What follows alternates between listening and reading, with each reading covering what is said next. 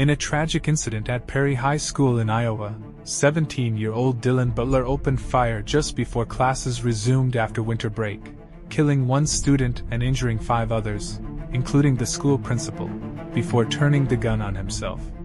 Butler, who posted a TikTok video moments before the rampage, expressed frustration with bullying in captions and chose a song with ominous lyrics as the background. Investigators found photos of Butler posing with firearms and discovered an improvised explosive device on his body, suggesting a potential larger plan. While police haven't provided a motive, two friends revealed that Butler had been a target of long term bullying, with his parents reportedly addressing the issue with the school.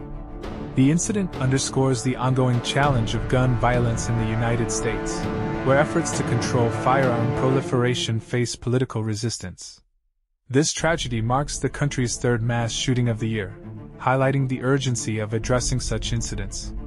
The Perry shooting occurred less than two weeks before the Iowa caucus, adding a somber note to the upcoming presidential election season.